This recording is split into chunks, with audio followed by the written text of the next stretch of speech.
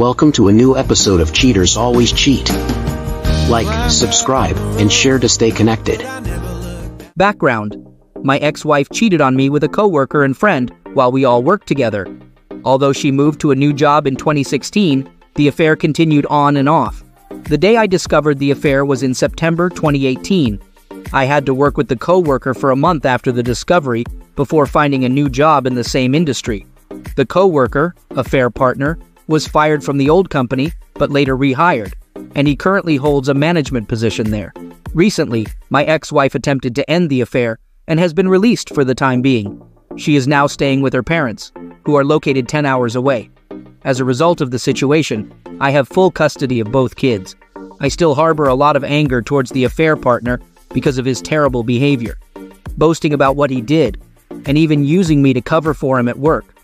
Yesterday, I received a call at the office before heading out to the field, and I heard some news. My manager, who is aware of some of my story, called me in and informed me that my current company has just acquired my old company. The old company was involved in a specialized role in our field of work, and my current company is looking to expand into that area. He grinned and asked me who I think they should keep on board. He emphasized the importance of having strong moral character. The current owner of the old company, who went through something similar with his ex, has agreed to keep things confidential until my company makes decisions. He might have even suggested this approach. While he doesn't like the affair partner, AP, he values his experience. My boss offered me the chance to deliver the termination notice to the AP under two conditions. I must do it in the presence of himself and another manager. They are both the same size as me, 6 and 220 pounds, not much fat these days, and they are aware of my anger issues as I've been open about my struggles. I attended anger management classes with another coworker, and they made it clear that I shouldn't engage with the AP. However, if the AP becomes hostile, my boss will step in to handle the situation and protect the employee, as he believes it would involve less legal trouble if he defends someone. Personally, I think my boss understands my anger and doesn't want me to act on it, especially because I've never felt such intense hatred towards someone before, like I do for this guy. I'm no longer bothered by the fact that he slept with my wife. My biggest issue is his constant mocking of me, and the fact that he continues to pursue other affairs even though he knows the harm it causes to marriages and lives. The other condition is that since the original owner is moving south and the supervisor is getting fired, I have to assist the company during the transition until a new supervisor manager is hired. I have the most knowledge about both companies, and if everything goes well, they promised me a raise and the chance to do this full time. Wow, is that karma? I've missed you. I'm not sure if I'll take up the offer to deliver his termination notice, but whether it's petty or not, it feels like a satisfying dose of karma. I was all smiles today. On Friday at 7 a.m., if I decide to go ahead with it, I'll walk into the meeting at the old company and hand him his termination letter in front of all my former coworkers who are aware of what happened. The reason for his dismissal will be that his moral character doesn't meet company standards, especially given the honesty and integrity required in our work, particularly when dealing with certifications for measurement devices that handle millions of dollars worth of products regularly. Both my old boss and new boss have experienced similar situations to mine, and they've heard some of the stories about the AP boasting to me about his actions with my wife in his office, which is now in a new building, as the old office was sold. He would also use me to cover his work while they were involved in their affair, and he had numerous other moments of being a complete jerk. They believe in the importance of karma and want to help me find some closure on this matter. However, the reality is that my new boss knew we couldn't work together peacefully due to the hostility. I'm still working on managing my anger, and he's quite upset that I did something terrible, like telling his wife and everyone else about the kind of person he is. He seems to think that I owed him not to say anything, though I'm still trying to understand why he believes that. Do I feel bad about this? Not too much. The truth is he padded his hours, stole equipment. The police will check to ensure all property is returned did his work carelessly, and drinks at work regularly. He recently tried to start another affair with the new safety consultant, but I may have informed her husband about his true character after an old colleague mentioned it. He was left in charge mostly because the owner was stepping back and retiring, and no one else knew the systems as well as he did. I was the next closest. But at that time, I had no desire to stay on, as the memories of certain movies were still too vivid in my head when I was in the office at the old building. I imagine his wife will be angry since, in my opinion, she was more concerned about the standard of living than anything else. They were both forgiven just two days after she found out. You may call me petty, but I must admit, I feel pretty good right now. Update. I need to vent a bit here. The situation just keeps getting more twisted. In short, my good friend, who is the AP, sent me a message. I opened it without realizing who it was from, and he informed me that just two weeks after our wedding, my ex decided to do a special dress showing for him, wearing her wedding dress. When I confronted her about it, all she did was cry and apologize, saying she could never apologize enough. Honestly, that made me feel sick. I can't comprehend why she would marry me while cheating on me. Why go through all the effort, spending tens of thousands of dollars, to stand before friends, family, and God and lie? There was no respect, no honor, and no truth in anything. It's right up there with cheating on the wedding day as one of the worst betrayals. Anyway, that was about a week ago. Yesterday, I went to our old storage unit. She was supposed to get her stuff out a month ago. When I opened the door, what did I see? Her wedding dress. Apparently, she wanted to sell it. Normally, I'm all for selling old stuff we won't use again, but I couldn't let someone else get married in that symbol of betrayal. So I took it home and then invited my ex over to celebrate. She showed up 30 minutes later and saw her wedding dress in the fire pit. I gave her the chance to set it on fire herself. Surprisingly, she took the match and lit it up, considering the safety concerns. Wedding gowns burn quickly. She cried for a while after that, and she spent the night in my bed while I slept on the couch. We had a long talk that night. She couldn't believe the things she had done, and neither could I. Seeing her burn the dress felt good in a way. At first, she was angry that I did this, but I think it might give her some closure she needs. As for me, I'm still very disgusted by the whole thing. I know there's no future for us, but I feel somewhat relieved. Second story. My wife, 29F, and I, 31M, welcomed our baby last December, but the birth was traumatic, and my wife developed postpartum depression. Originally, she planned to return to work after giving birth, but due to her struggles, we decided to wait until our daughter turned one before reassessing the situation.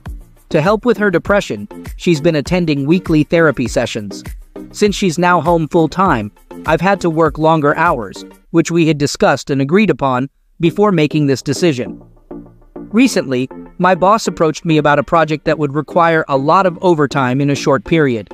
This opportunity would be financially beneficial and also great for my career. I discussed it with my wife, and she agreed that I should take on the project. During the four weeks of intense work, my mother-in-law and her best friend Jessie, 29F, would come to assist with some of the tasks I usually handle. Jessie is a stay-at-home mom with a four-year-old and a two-year-old. She started coming over during the day to help my wife watch the kids. After three weeks into the project, it was evident that we needed a few more weeks to complete it. I discussed this with my wife, and she said she was okay with it, but she became distant in the following days. This behavior wasn't uncommon in recent months, so I didn't dwell on it, or take it personally. In the last week of the project, I arrived home one night and noticed that Jessie was still at our house. I didn't think much of it, greeted her and my wife, and then went to check on our daughter. As I was heading to her room, I overheard Jessie say something like, He doesn't even stop to greet you. Definitely a sign. I turned around and asked Jessie what she meant by the sign. Right away, my wife started crying, and Jessie accused me of having an affair. She claimed that I must hate my wife because of her postpartum depression, and that I'm not attracted to her anymore due to her pregnancy weight gain. None of these accusations are true. I love my wife, and I'm doing my best to support her through her PPD and take care of our family. I find her beautiful just the way she is, and I haven't pressured her for closeness.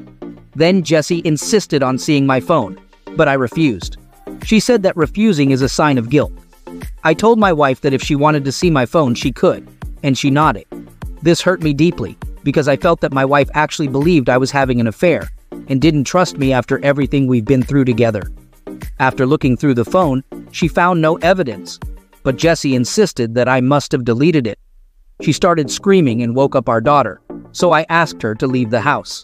Eventually, she left, and I went to comfort our daughter while my wife remained on the couch, crying. Once our daughter was asleep again, I sat down beside my wife and tried to discuss what had been going on. She told me that she had been worried ever since I started working overtime. I reminded her that we had discussed the opportunity and she agreed to let me take on the project.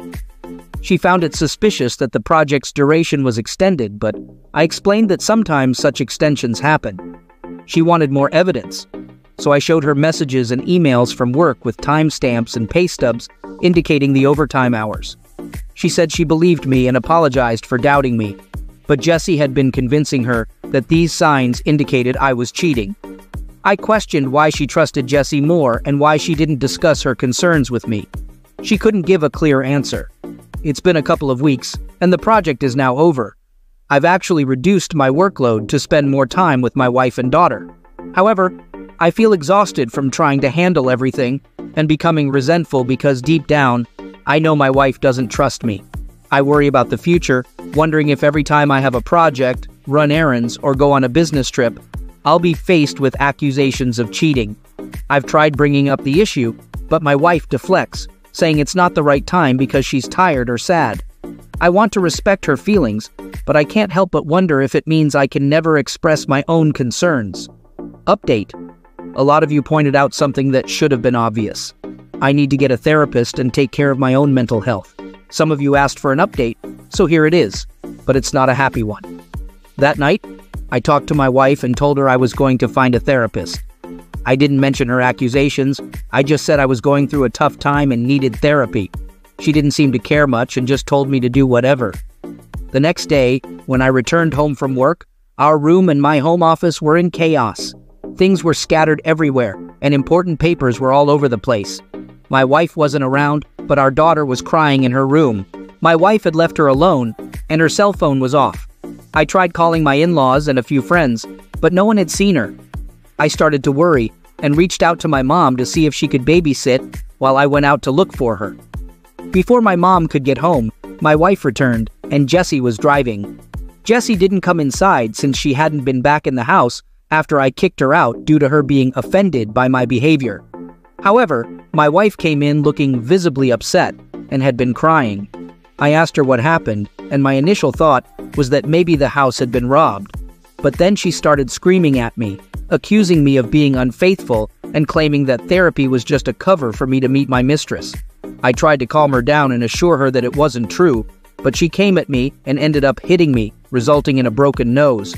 After she realized what she did, she sat down on the couch and became completely unresponsive, just staring at the wall. I went into my daughter's room and locked the door for safety. I called my mom to inform her about the situation. She was already on her way. And I also contacted my mother in law to ask her to come over and take care of my wife. I quickly packed a bag for my daughter, and when my mom arrived, we left. My wife didn't even look up or respond to our departure. After dropping off my daughter with my dad, we went to urgent care to attend to my nose. I accidentally got blood all over my mom's new Subaru.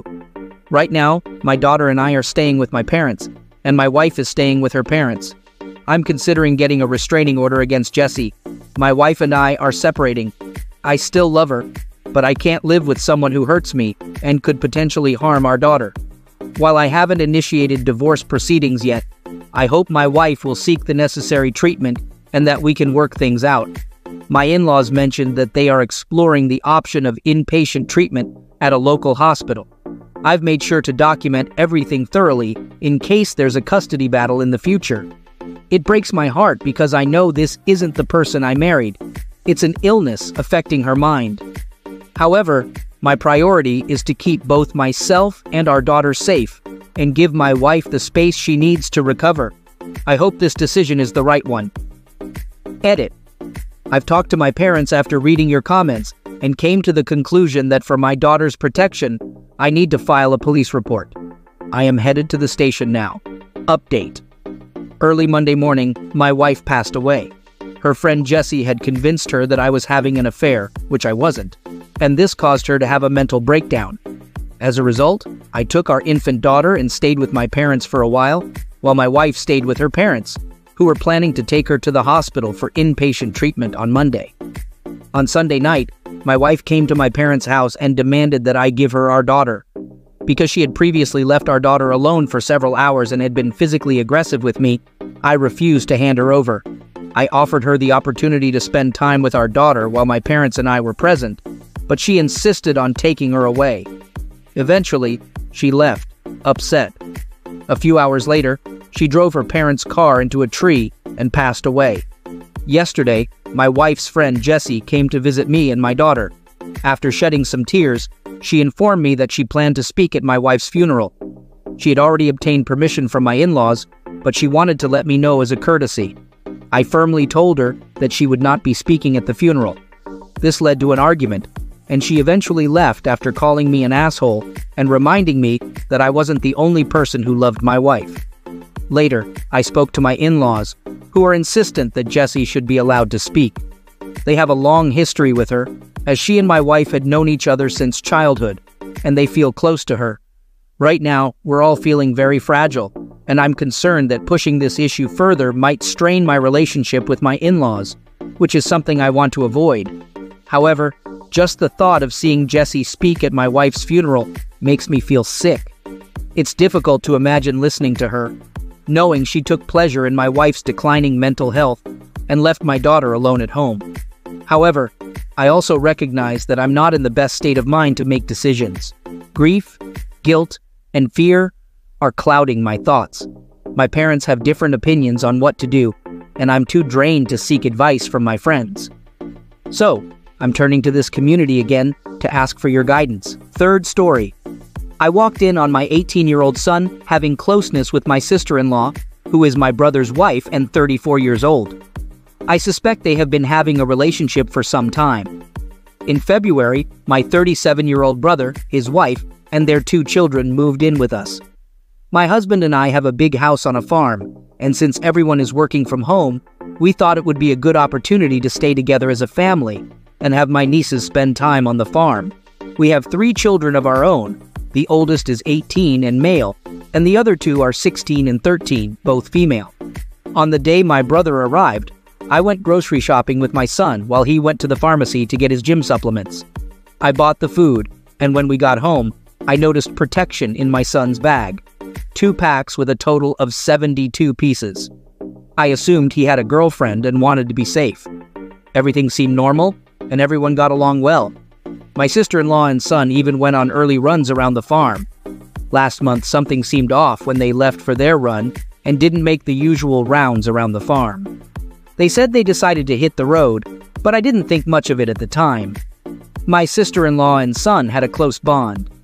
Yesterday morning, while returning from a friend's house before sunrise, I noticed the cabin on the farm was open with the light on. Thinking an employee had forgotten to lock up, I went to close the door and turn off the light. However, to my shock, I heard people having closeness inside. When I peeked in, I saw it was my son and sister-in-law. I was so stunned that I didn't confront them at that moment. I haven't shared what I witnessed with anyone, and I'm feeling really unsure about what to do next. Should I confront them about it? Should I tell my brother? Or should I confide in my husband? I'm completely confused and have been doing a lot of thinking. Based on the evidence like the condoms, my son never brought a girlfriend around. Their morning runs around the farm, are they really just running? And their close relationship, I strongly suspect they've been having closeness for a while. Update. A lot of comments suggested that I should start by talking to my husband, so that's what I did. He got really upset at first because he thought it was just a joke. After our conversation, we both agreed that it would be best to talk to our son before informing my brother. My son said it started on SIL's birthday party he attended. They got drunk and had closeness in a bathroom, and they have been meeting at hotels ever since and sneaking off at family gatherings. After my son admitted to everything, my husband couldn't handle it and told him to leave the house and go to our condo in town.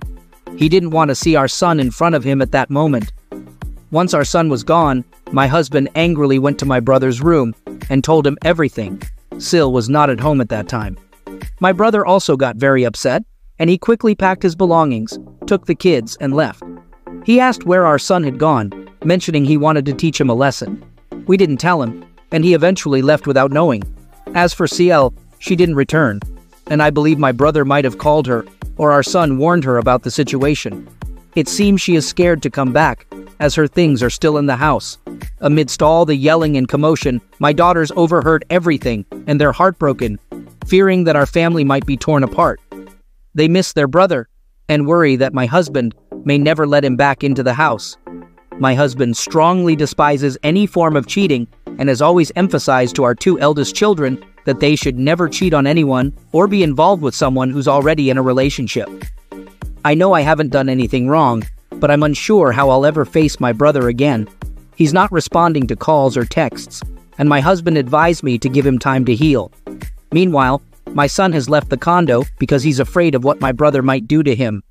He's now hiding at a friend's place, but he won't reveal which friend. We haven't heard anything from SIL. Sil was the one who initiated closeness the first time she and my son slept together. She was also the one booking hotel rooms and treating my son to meals. Furthermore, my son was receiving an allowance from her. Fourth story. My wife and I have been together for 13 years. We began dating when we were around 16, and we've never broken up. Three years ago, we got married. Our relationship was so strong that others were envious, and people always thought we'd get married at a young age. However, over the past year and a half to two years, things started to shift in our relationship. Some problems emerged with her family, and as a result, she started becoming more distant from me, both emotionally and physically. She became very protective of her phone and grew closer to a male coworker. I admit that I snooped on her phone because I had a feeling that something was wrong based on various signs. I discovered incriminating texts that confirmed she was having an affair with this guy. When I confronted her in early September, she admitted to it, confessing that the affair had been going on for a year. They were having the affair in our home, even sleeping together in the bedroom that we had planned for our future children. She said sorry, promising it wouldn't happen again, and I told her for us to move forward, she must cut off all contact with the person she cheated on me with. It's been two months, but they still talk occasionally. She argues that it's unfair for me to ask her to stop talking to someone she considers a close friend. Honestly, I'm unsure of what to do now. I'm trying to see if I can forgive and forget, but I don't know if I can ever trust her again. It feels like she's prioritizing her relationship with him over ours by staying in touch. I'm really torn and don't know what my instincts are telling me. She also wants me to keep this situation a secret from our friends, leaving me with no one to talk to about it. I am going to call the lawyer I spoke to a few weeks ago tomorrow and see how he says I should approach the situation. I decided to give you an update because your advice was incredibly helpful. Over a month ago, after posting here and reading all your advice, I contacted my lawyer, confided in my parents and some close friends about the situation, and informed my wife that I wanted a divorce. She pleaded and begged, promising to improve things and end contact with the other person involved. We spent the entire weekend together, and she made all sorts of promises, saying and doing the right things. Though I didn't fully trust her, I decided to give her one last chance to salvage what I believed we had. Things seemed okay for about a month, more like coexisting but she spent less time on her phone and became more attentive to me. During a weekend, she handed me her phone to show me something, and I became suspicious. I swiped up on her open apps, and I saw that she was talking to the person she cheated with on Instagram. I got really upset, but she tried to convince me that he just messaged her, and she rejected his advances.